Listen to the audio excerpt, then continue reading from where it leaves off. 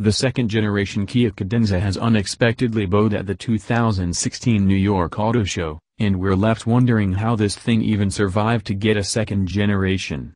The Cadenza has been on sale since 2013 and it's never sold over 10,000 units in one year.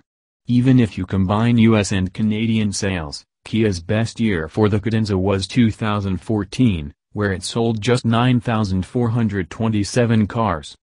So, what's Kia done to the second-gen car to improve on that disappointing stat? Perhaps the biggest change is the platform the Cadenza rides on. It's lighter and stiffer, which means it's probably going to be a far better dancer than the boat-like first-gen model.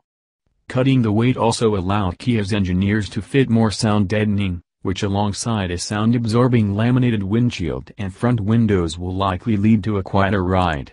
Better handling and a quieter ride? Okay Kia, we're paying attention. The Cadenza's 3.3-liter V6 still sits under hood, but it's paired to an 8-speed automatic for the first time.